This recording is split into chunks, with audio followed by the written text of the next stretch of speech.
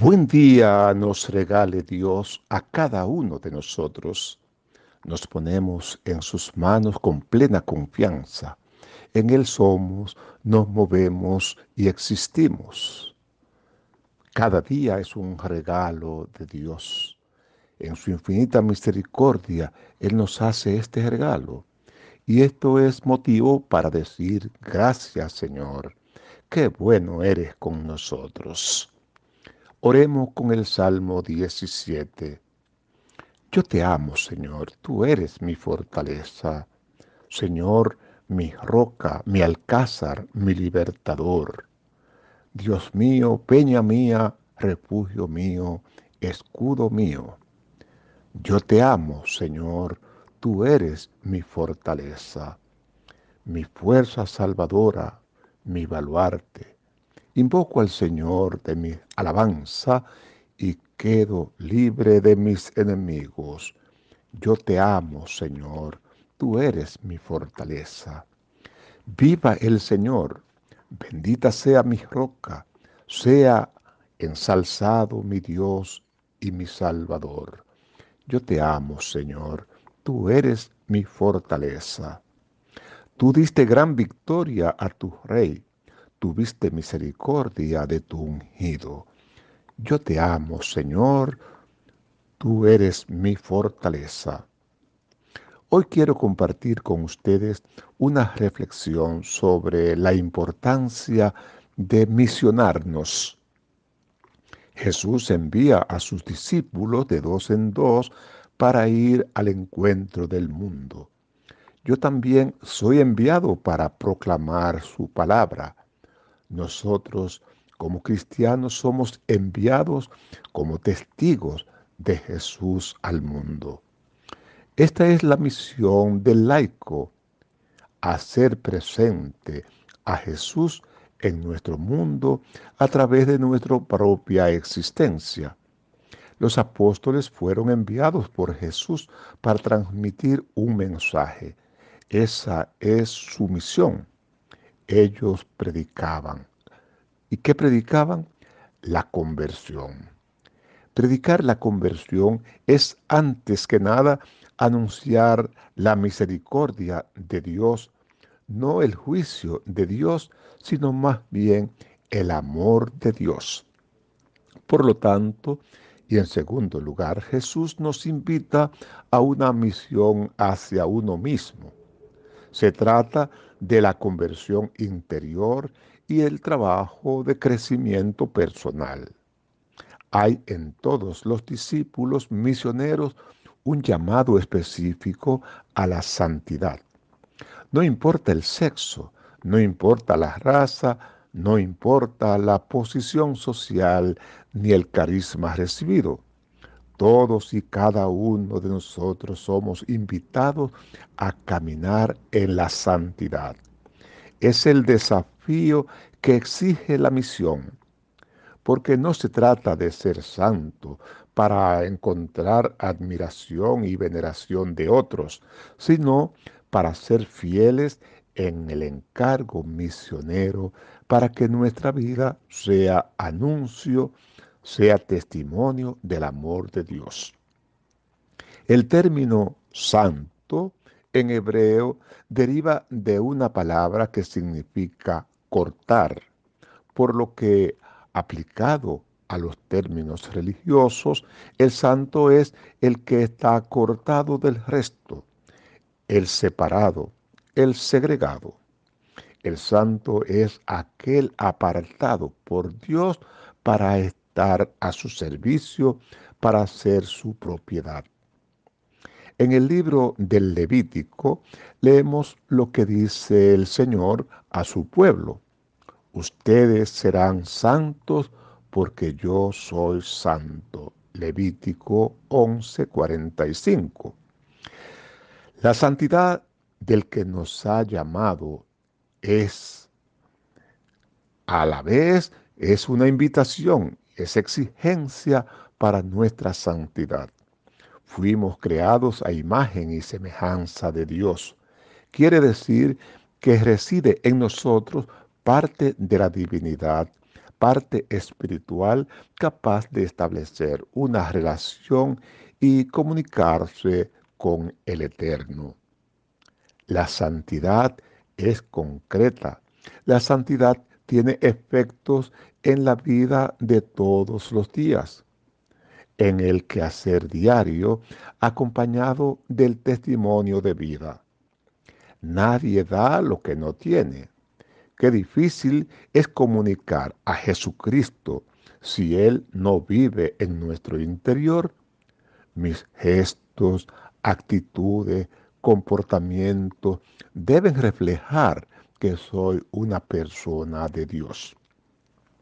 Cada día en mi vida ordinaria estoy llamado a la santificación de mi propia persona, porque solo de ese modo es posible transmitir aquello que está vivo en nosotros, la misión del ser.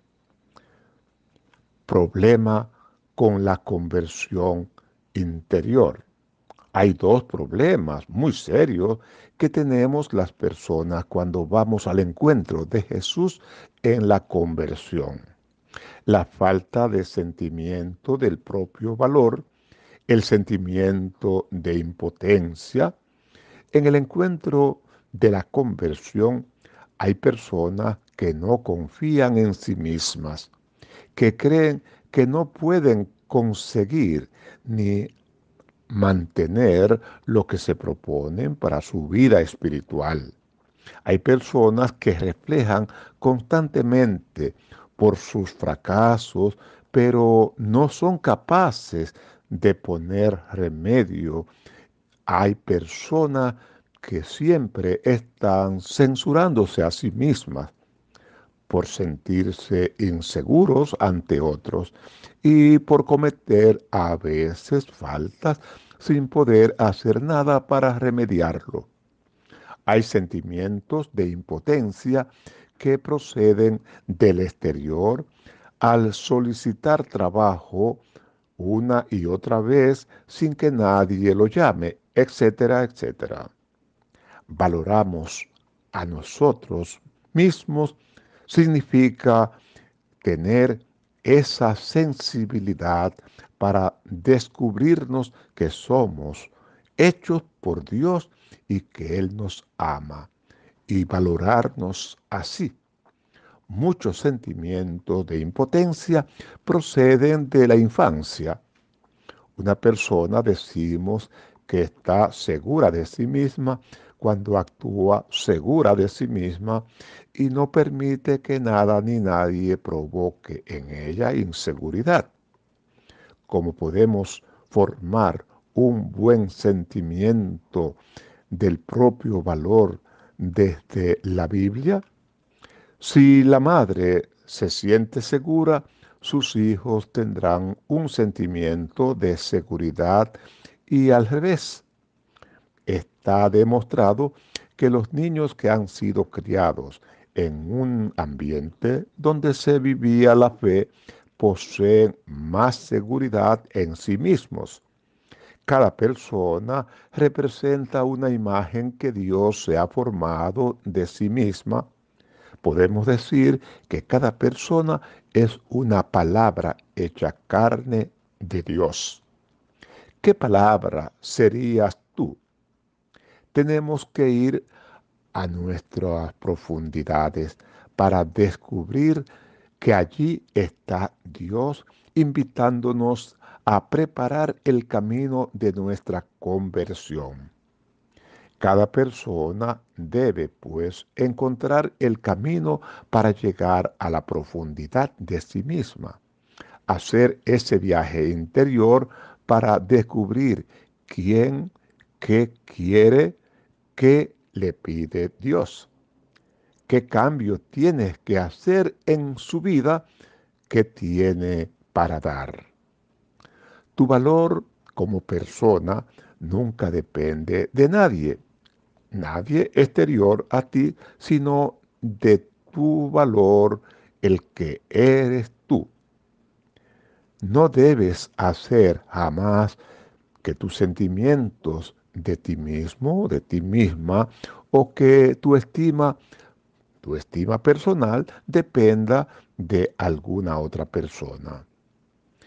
En el camino de la conversión es muy importante reconciliarse con la propia historia personal, con el pasado de cada uno. No tiene ningún sentido andar revolviendo constantemente en nuestro pasado para encontrar en él la razón de nuestra insatisfacción, de nuestra infelicidad. Debemos reconciliarnos con la historia de nuestra vida. Tienes que mirar el pasado como el material con el que vas a trabajar, un material al que tú le vas a dar forma. Si yo me hago cargo de mi vida, entonces dejaré de echar la culpa a los demás por las cosas que me resultan poco agradables que veo en mí, en mi persona. El hacerme cargo de mi vida me va a ayudar a ver quién soy yo realmente y veré qué quiere Dios de mí. Dios quiere nacer en mí de una manera particular, totalmente distinta a otra persona. Dios quiere estar presente en lo más profundo de mí mismo. Nosotros somos más de lo que vivimos al exterior, aunque aparentemos estar seguros o inseguros, ser fuertes o débiles. Tenemos que descubrir quién somos realmente para desde ahí abrir conscientemente las puertas de nuestra propia profundidad. Nuestro yo lo que somos, grita dentro de nosotros algo así como, sácame de aquí. Para ir a la misión necesitamos saber qué tenemos para dar. ¿Qué significa entonces la misión interior? Significa que yo quiero, yo mismo tengo que misionarme interiormente si deseo anunciar la buena nueva al mundo. Este es el campo de acción más difícil y decisivo, la misión de uno mismo. Así como en el Evangelio se lee la expresión médico, cúrate a ti mismo, Lucas 4, 23, así también podríamos decir, misionero, misiónate a ti mismo. La misión interior y la conversión del corazón, en primer lugar, se trata del desafío de la conversión interior. En el texto de Marcos se nos presenta un signo que los discípulos llevaban a cabo ellos tenían el poder para expulsar demonios y curar a los enfermos. Nuestras almas están enfermas. La conversión significa entonces una sanación interior. Nuestras almas están en poder de malos espíritus. Conversión significa siempre una liberación interior la misión interior y la santidad personal. En la carta de San Pablo a los Efesios nos dice que Dios nos ha elegido antes de la creación del mundo para ser santos. Esta es nuestra vocación. Este es el objetivo de nuestra conversión.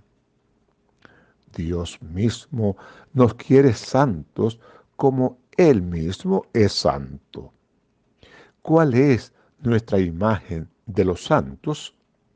El santo no es una figura de yeso pintado que está en el altar de una iglesia. El santo es una persona de carne y huesos como nosotros, a través de la cual Dios se transparenta, se nos muestra, se nos regala. La misión del laico eh, hoy día es santificar con su presencia el mundo, la sociedad, el medio en el cual se mueve. Es el camino de la santidad que nos hace ser misión. El mejor regalo que podemos nosotros hacer en nuestros ambientes cercanos es nuestra santidad. Es por eso que misionarnos ha de ser un compromiso de todos los días.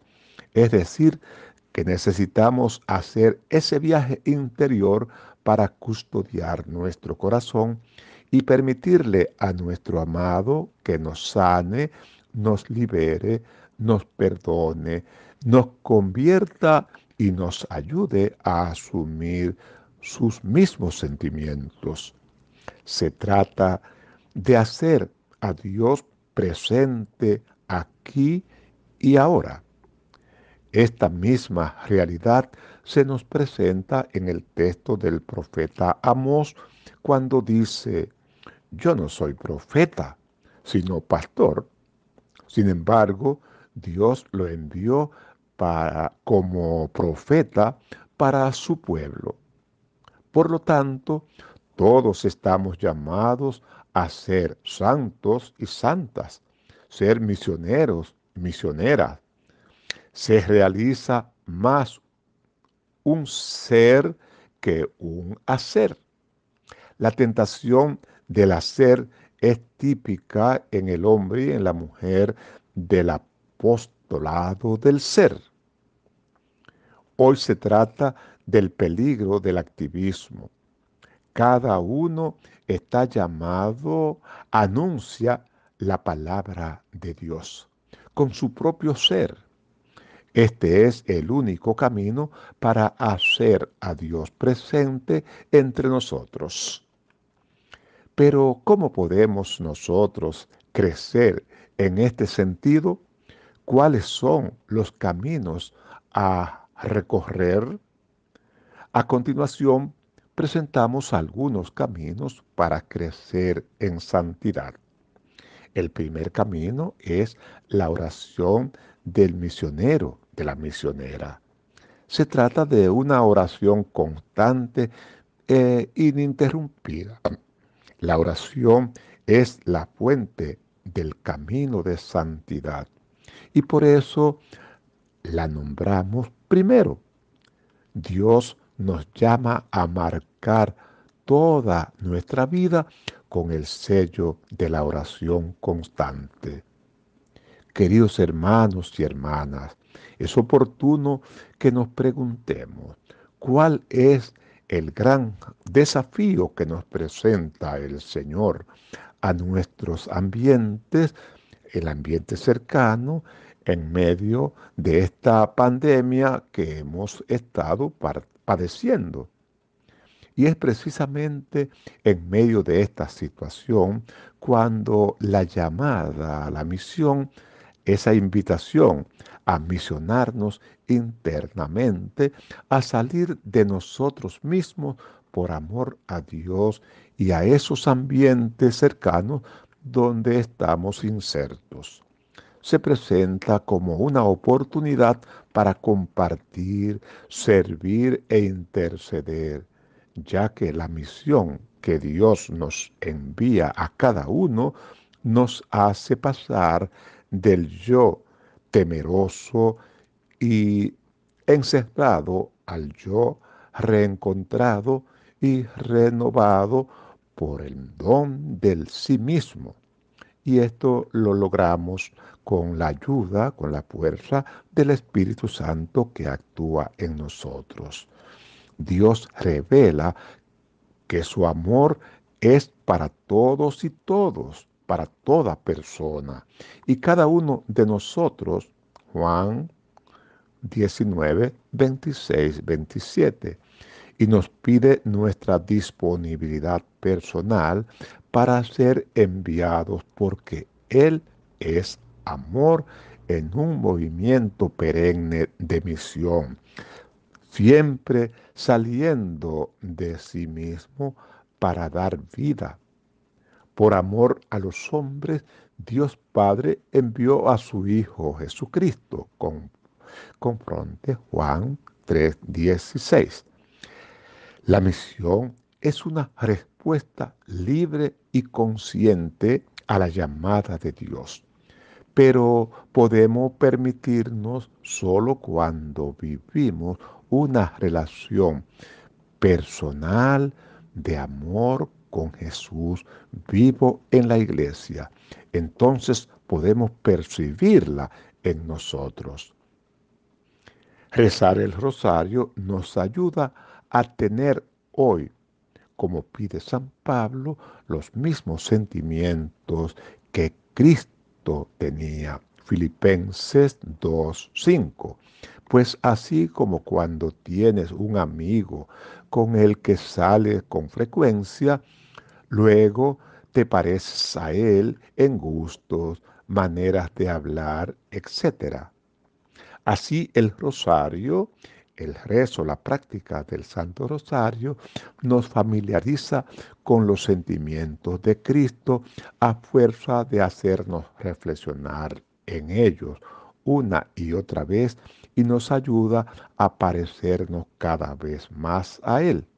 Cuando meditamos los diferentes misterios en el rezo del Santo Rosario, vamos meditando la vida de Jesucristo, su pasión, su muerte, su resurrección, su vida gloriosa en nosotros, en la iglesia.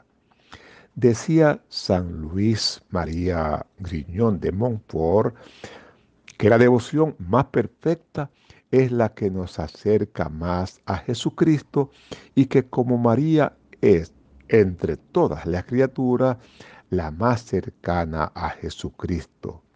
El tenerle devoción a ella y rezar el rosario, así nos acercamos más a Él. El Papa Juan Pablo II, San Juan Pablo II, nos recuerda que Cristo dijo, pidan y se les dará, busquen y encontrarán, toquen y se les abrirá. Mateo 7, 7. Y que el rosario es al mismo tiempo meditación y súplica que se apoya en la confianza de que María, que es templo del Espíritu Santo, intercede por ti ante el Padre que la llenó de gracia y ante su Hijo. Mis queridos hermanos y hermanas, en este mes dedicado de manera especial al rezo del Santo Rosario, que es una oración tan fácil y al mismo tiempo tan rica, parece deberá ser recuperada por la comunidad cristiana, de modo particular por la familia.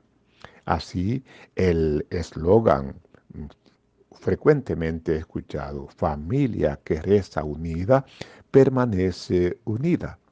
Que todos los creyentes de cualquier edad y condición tomemos con confianza entre las manos el rosario, descubriendo de nuevo a la luz de la escritura que este mes llamado mes de, las misiones, se intensifica la animación misionera, uniéndonos a todos en la oración, en el sacrificio y el aporte económico a favor de las misiones, a fin de que el Evangelio se proclame a todos los hombres.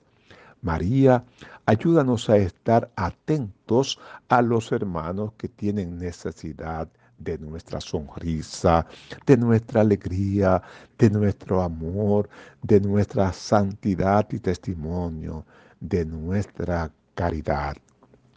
Ave María Purísima, sin pecado concebida.